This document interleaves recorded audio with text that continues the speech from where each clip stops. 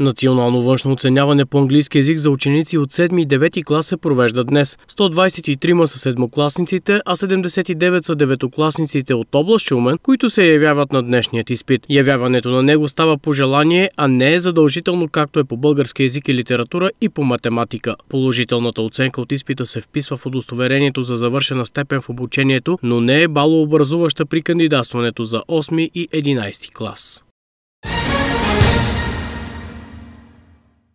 Засилени проверки за установяване на водачи седнали зад волана след употреба на алкохол и или наркотични вещества и техния налози са вход на територията на областната дирекция на МВР в Шумен. Традиционно ще се проверяват неправоспособни водачи, автомобили, гражданска отговорност, абсолютно всички а, нарушения, които се констатират по време на сама, самата операция Road Pulse, за тях ще бъде вземано отношение и толерантността ще бъде нулева, независимо дали са за алкохол или наркотици.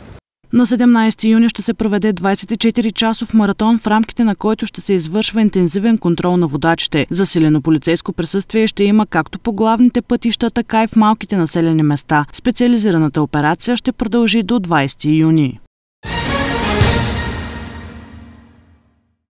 Поради извършване на неотложни ремонтни дейности на съоръжения за доставка на електроенергия, днес до 16 часа ще бъде спрян токът в селата Крива река, Лисивръх, Златна нива, Върбяне, Правенци, Избул и Войвода. Времени смущения в електрозахранването са възможни до 16 часа в районите на селата Църквица и Белокопитово. Смущения на тока ще има от 16.30 до 17 часа в района на град Велики Преслав.